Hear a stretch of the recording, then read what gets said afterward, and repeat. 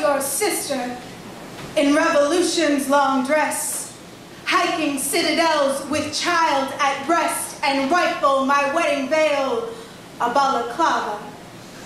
Still you named me for my sex, asked me to build shelters for your armies, told me my beauty was a flower in the barrel of the gun.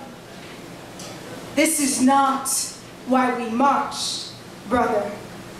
We who are the means of production, we who have carried Marxist Bibles with knitting needles for generations, teaching our daughters the machinery of silence would one day break.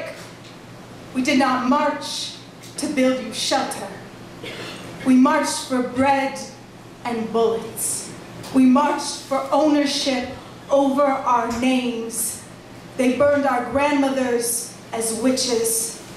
They have been calling us sluts for 600 years. Still we have marched as proud Jezebels turned their scarlet letters to Valentine, known love as gold knuckles and worn pleasure as a thunderstorm. So hear me now, Vancouver, because your women's shelters have become the refugee camps of our hearts.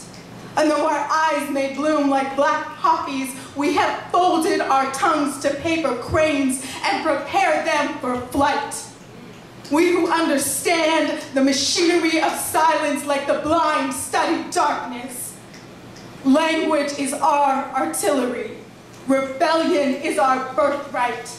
We were born with cinders of Joan of Arc in our blood.